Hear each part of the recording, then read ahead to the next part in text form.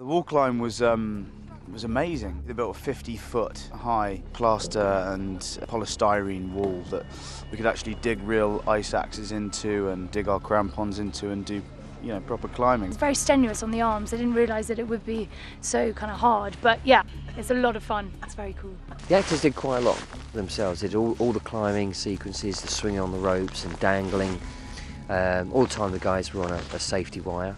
Although we were quite often hoisted up to position on a harness, once you got to position, then you were actually genuinely climbing this wall. I love banging that wall. Just stand there on the edge of your spikes and just hit it as hard as you can. That was an amazing feeling. It always, again, amazes me with this show when you turn up and they've built something that incredible. It gave a real sense of fear to us all being that high up. Yeah, the, the fear in our eyes is probably genuine, no acting required. And, and with the wind and the snow, yeah, it's quite easy to imagine yourself there and, and to put in the performance.